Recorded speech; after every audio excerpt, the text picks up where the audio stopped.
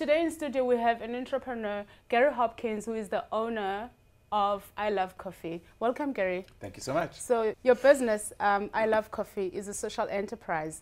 We'll get to the concept later on, but um, you've hired deaf baristas. Um, talk us through that process.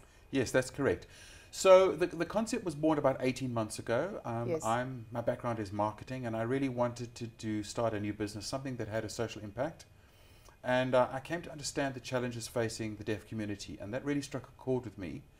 And, and really where it stems from is, is out of the fact that their language is not recognized. South Yes. African Sign Language is not recognized as, a, as an official language, uh, which means that um, most deaf youth um, struggle with education. You know, for, for deaf kids to get a matric is, is quite a significant achievement. Yes. And to progress beyond that is, is, is almost impossible. If you look at UCT, there's something like 27,000 students there, but of which only five are deaf. So really, Wow. so the, the chances of advancing into the workplace um, uh, is, is, is very slim. So, you know, the deaf community is by and large locked out of the economy. And so I thought, well, what is the simplest way to break down communication barriers? How do we start this process? Yes. And the, the simplest way is over a cup of coffee. We all love coffee. True. We all love chatting over coffee. So why would it be different with hearing and deaf people? And that's where the idea was born. And um, that's very interesting because you're talking about people who are deaf, and in the same breath, these are the people who left to work with the people, and then language being a key connector between these two. So, how is that working for you? How did you overcome that barrier, or what are you doing to make sure that it works for both parties? So you know, the, the interesting thing is that sign language is a, is obviously a very full language, but the, the language of coffee is quite simple. So, for Okay. example, to order a cappuccino in sign language is quite simple. That's a cappuccino, and that's a latte. So it was it's really easy to start the conversation. Yes. So in our first version of the shop, we had a wall that said how to order coffee from a deaf barista.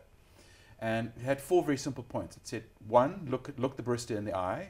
Two, speak normally. And in brackets, don't shout, it won't help. Okay. Three, write it down. So all our surfaces, you can write down your order. Or number four, learn to sign. And our baristas love teaching people how to sign for a coffee. Um, as we've progressed, that has evolved. Um, and we now have a video that plays in our store which teaches people how to order coffees and various things. Um, but also, what is unique about our model is that, apart from just learning how to make coffee, we, we train our staff how to run a cafe from end to end. Yes. And after a period of two years, the cafe then becomes theirs. They take ownership of it. That's So, so they go from being unemployed to employed and trained to actually Into owning, their own, their own shop. businesses. That's amazing. And how do you source them? Um, you know, the deaf community is quite small, so the word spreads quite quickly. Okay. Um, we our original baristas we've hired from the National Institute for the Deaf, so we have some that have had some barista, some chef training. We've we've taken them on board, um, but we've had other staff members that we've recruited just by putting the out, word out on on Facebook. Okay. Um, now let's talk about the the concept, Yes. which is the basis of your business. Yes. Um, you use compostable or biodegradable um, coffee pods.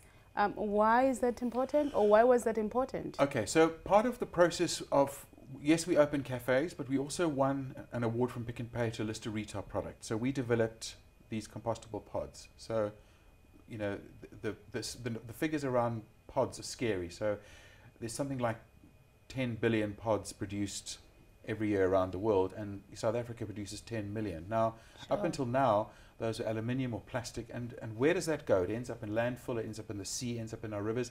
It's it's a terrible pollutant. So we and it damages the environment Exactly. eventually. so and and coffee is a natural compost. So we thought, well, if we put coffee, which compo- composts into fertilizer, into something that does the same, then we'll solve a problem. So we developed a, a compostable, biodegradable pod, 99% biodegradable. You only started here in Cape Town.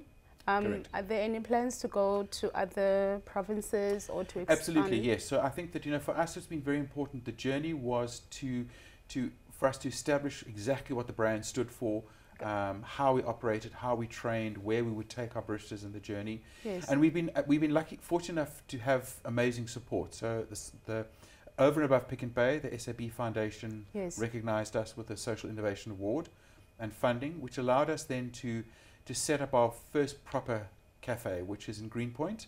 Uh, um, our host company is Saatchi and Saatchi, who's an ad agency, so they give us tremendous support, not only from the staff buying coffees from us, but um, also in terms of advertising and PR. Yes. Um, and that's helped us formulate the perfect picture of what do we look like visually and how do we fund this moving forward.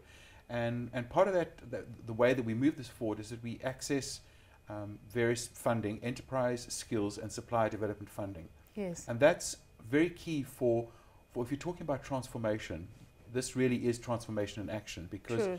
you're allowing a company to to bring something into their business which they're spending money on and they see the, the outcomes not only from our, our staff um, benefiting and getting jobs and owning a business but their staff also suddenly become more more motivated and uh, the morale increases and there's a wonderful team spirit that happens around our coffee station Yes. so um, it's very rewarding for everyone involved and they become more independent eventually. absolutely And then you mentioned that after two years they own the the coffee shop. correct So, oh, you only started 18 months ago. So, Yeah. So our, our first baristas are, are, are getting pretty close to being in a situation where they will they will start taking ownership, and and that's you asking about us growing now. So we're starting to look now.